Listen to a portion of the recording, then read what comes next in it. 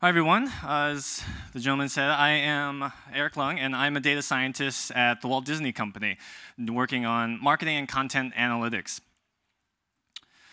And last year, we started a project with ESPN where they wanted to understand the effectiveness of their ads on live TV on the TV household or TV watching households.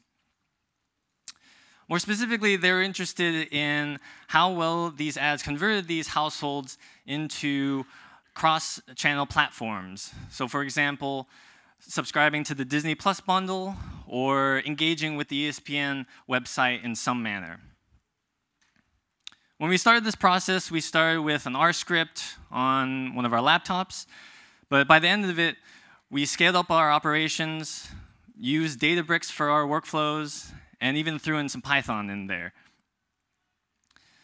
So today I want to share three lessons that we learned in doing this process, and hopefully some of these resonate with you. So the first one I want to share is don't reinvent the wheel. So for some background for us, we've done some marketing campaigns more in the email marketing space, where we could uh, separate groups into a holdout group and a testing group and send emails just to our test group. Now we're thinking, oh, can we use the same methodology for viewership? However, you can't really go into somebody's house and say, you watch some ads and you don't. So we have to find some other way to do this. Luckily, some of our colleagues were working with Hulu on a marketing campaign, and we're making use of a counterfactual model to do this modeling. And even though they're different platforms, Hulu being streaming and our work was in the live TV space, there's some commonalities that we could use to then refactor our code enough from theirs to our own project, hence not reinventing the wheel there. The next lesson I want to share is to use the best available tool for the job. So the ads that we started with were, say, watching MLB and running this, again, on R script on your own laptop.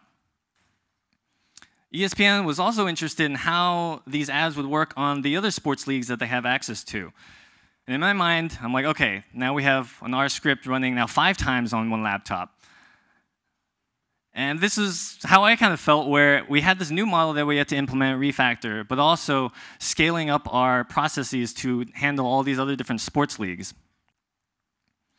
So after going through some brainstorming, we're thinking, oh, okay, maybe we just need some sort of server to offload some of our compute, maybe an Amazon Web Service or even Posit Connect.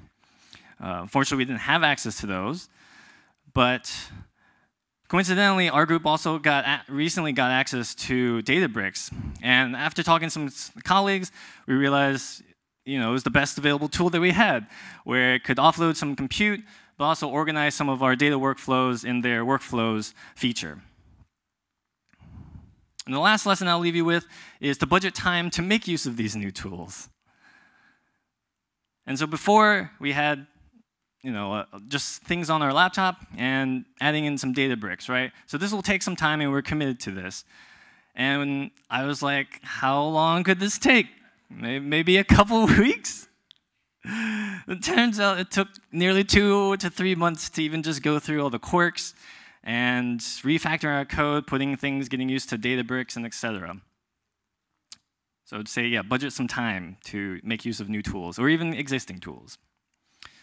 So in sum, my three lessons that I want to give you is don't reinvent the wheel if you don't have to. Maybe um, some open source project that you can look at.